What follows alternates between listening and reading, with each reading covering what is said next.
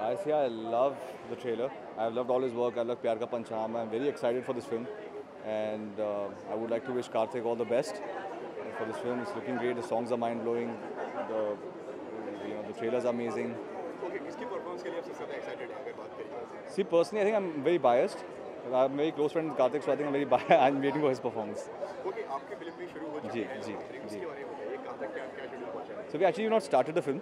वो फ़िल्म अभी स्टार्ट होगी थर्ड को थर्ड को भी start shooting in Gujarat so it's last story I think excited not nervous but I am very excited thank you so much thank you thank you